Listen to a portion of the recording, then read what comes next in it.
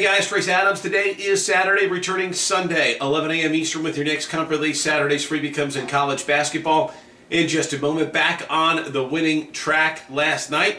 Top rated 1,000 star Massachusetts getting the job done at home over Virginia Commonwealth. That game went right down to the bitter end, but UMass able to cover as the two point home favorite over VCU to make it 10 of the last 15 days on the plus side to make it 3,150 units of profit the last 29 days at just $1 bet per unit.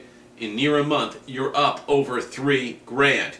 Today, we raised the bar. Second biggest college basketball release of the season. Raise the bar winner number six of eight goes out. Big Ten game of the year, Wisconsin and Iowa, and that starts early. Just as strong as Tuesday night's 1500 star raise the bar winner on the Cavaliers and the 76ers under the posted total, a play that you got for just $9. Today, a release just as strong. 1500 star. Raise the bar winner number 6 of 8. 8 Big Ten Game of the Year Wisconsin and Iowa. Plus a 500 star pay after you win Road Warrior Lock. Must win or you will not be charged. That's the way the pay after you win play works.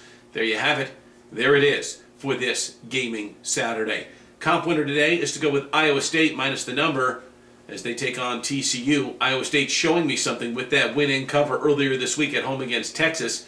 I look for them to springboard off that win and get a win against one of the doormats of their conference. Go with Iowa State, lay it on the road. Cyclones get the job done. We'll talk to you again Sunday by 11 a.m. Eastern. As always, Trace Adams, dead serious about winning.